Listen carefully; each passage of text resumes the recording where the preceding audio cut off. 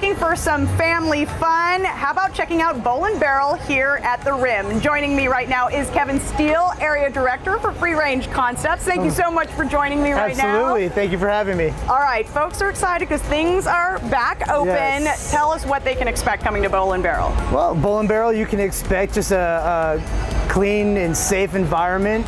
Every single time you walk in, we are cleaning every touch point, every table, every chair, every ball, all the ball holes, all the shoes get rotated out on an hour basis so they're just not reused all the time. And uh, we are doing wellness checks for staff members just to ensure that uh, everybody is safe uh, to work. Um, so we are excited to to invite anybody out that wants to bowl and have awesome food and great drinks.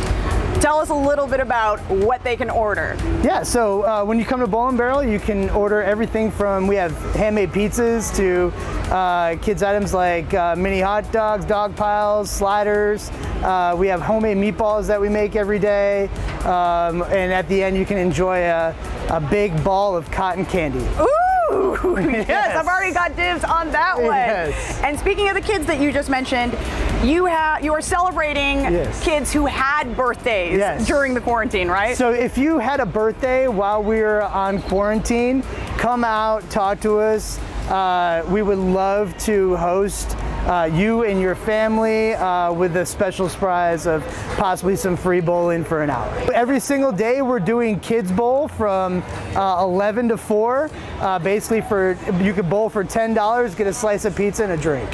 All right, let folks know where to go for more information. Absolutely. If you want more information on Bowl and Barrel, you can visit us on Instagram and on Facebook. Thank you so much. All right, for more information on Bowl and Barrel, just head to our website, salive.com, and click on the As Seen on SA Live tab.